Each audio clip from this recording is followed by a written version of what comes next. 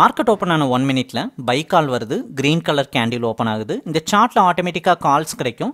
பார்க்குறக்கு இந்த மாதிரி சிக்னல் மாதிரி இருக்கும்.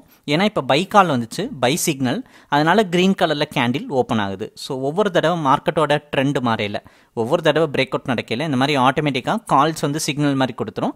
எங்கே என்ட்ரி எடுத்து டாரட் வச்சுக்கலாம்னு சொல்லிட்டு என்ட்ரிஸ் கிடைக்கும்.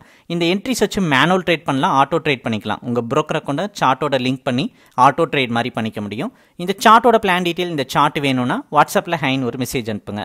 ஸோ டெய்லி பேசிஸில் பேங்க் நிஃப்டி ஃபியூச்சரில் கால்ஸ் எப்படி கிடைக்குது எப்படி பர்ஃபார்ம் பண்ணுதுன்னு வீடியோஸ் அப்லோட் பண்ணுறோம் இன்னைக்கு ஒரு Deepavali day October thirty first market பார்க்குறோம் நைன் சிக்ஸ்டீனுக்கு இந்த பை கால் வந்திருக்கு. Buy at fifty two thousand one nought eight அந்த க்ரீன் கேண்டில் ஸ்ட்ரெயிட்டாக ஒயிட் லைன் இருக்கா? அதான் என்ட்ரி லைன் மேலே டாரட் லைன் இருக்குது கீழே ஸ்டாப்லாஸ் லைன் இருக்குது ஸோ ஒன் நாட் எயிட்டில் வந்தது டூ தேர்ட்டி எயிட்டை பிரேக் அவுட் பண்ணுதா. கிட்டத்தட்ட ஒரு one twenty point first target இருக்குது இந்த ஒன் டுவெண்ட்டி பாயிண்ட் அச்சீவ் பண்ணுதான்றதான் பார்க்க போகிறோம் ஒவ்வொரு நாளும் ஒரு ஒன் மினிட் கேண்டிலோட பிரேக் அவுட் கான்செப்ட் யூஸ் பண்ணுறோம் ஸோ அந்த one minute candle break out concept படி பிரேக் அவுட் ஆச்சுன்னா நமக்கு கால்ஸ் லைவாகவே வர்ற மாதிரி செட் பண்ணியிருக்கோம். ஃபஸ்ட்டு கேண்டிலில் ஹண்ட்ரட் பாயிண்ட் பிரேக் அவுட் ஆச்சு.